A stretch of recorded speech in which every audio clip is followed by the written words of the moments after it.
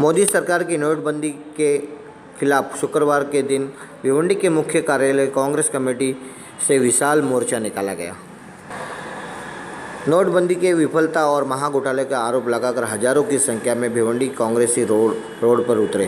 कांग्रेसियों ने जिला कांग्रेस कमेटी के नेतृत्व में एक विशाल मोर्चा निकालकर प्रांत ऑफिसर को विज्ञापन सौंपा। इस मोर्चे का नेतृत्व भिवंडी प्रभारी संतोष शेट्टी, रमाकांत महात्रे जिशान सैयद ने किया।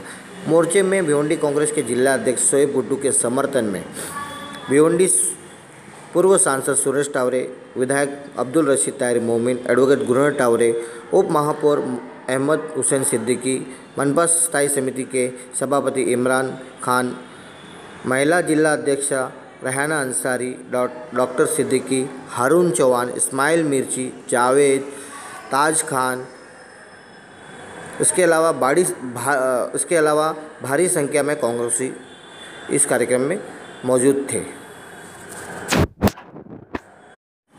इस कार्यक्रम का संचालन पार्टी के प्रवक्ता महाराष्ट्र प्रदेश के अल्पसंख्यक विभाग विभाग के सचिव इकबाल सिद्दीकी ने किया। भिवंडी कांग्रेस कमेटी के जिला अध्यक्ष शोएब गुड्डी ने जानकारी दी भिवंडी में नहीं बल्कि पूरे देश में इस तरह का आंदोलन और मोर्चा हो रहा है।